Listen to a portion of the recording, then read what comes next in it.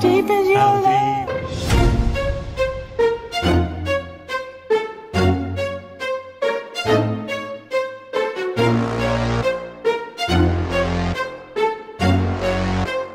How deep is your love?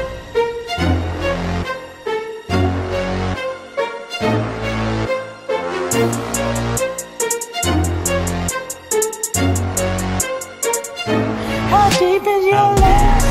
So they're all just testing this stuff. And so everything they deploy, they've got all these other technologies. My dad was at UT in 65 when he was in high school. They already had CD-ROMs, computers, everything. But they had a nuclear reactor underneath the building and he wasn't supposed to tell them.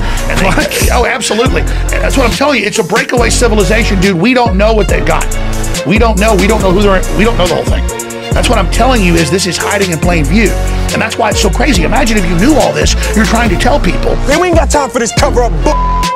I don't know whether or not you've forgotten, but there's an alien battle cruiser about to. There's always an alien battle cruiser or a Carillion death ray or an intergalactic plague that's about to wipe out life on this miserable little planet. The only way these people get on with their happy lives is they do not know about it. man, we're in a freaking cult. And I want out of it. And I'm not going along with it. I'm not looking to be part of what the globalists have initiated. I'm just here trying to warn people and have sanity prevail and stop this. Don't do your own research. Don't question. Just do what we say. Hey, when somebody's doing that, you're in a cult, okay? Okay? I mean, it. You know I'm not making this up. You know, let me show you a few headlines right here. Now, I've already prepared to die. I already know all this is real. I'm already prepared. I'm already ready. You're going to have to get ready. And you're going to have to understand they're coming for you. They're coming for you. And you're not going to get out of this without getting right with God and getting informed and informing others and standing up and saying, We know who you are. We know you're the enemy. We know you lie.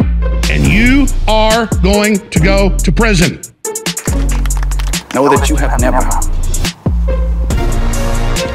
never been loved so much as I love you right now. Your only chance is to leave with us. Your only chance to survive is to leave with us. That, ladies and gentlemen, is how Satan attacks. And that is the world you're living in. So you can pretend you're part of the system. You can pretend you're going to shut up and not say anything, and maybe you'll last a little longer. But in the aggregate, you are going to destroy yourself and your family and everything that's good and wish to God you've done something, not just because of what physically is going to happen to you, but because you are going to be so cut off from God and so desperate because you didn't do the right thing when you had a chance to not just save your ass and not just save other people, but to get in line with God, get aligned with the truth. How deep is your love? is your love? How deep is your love?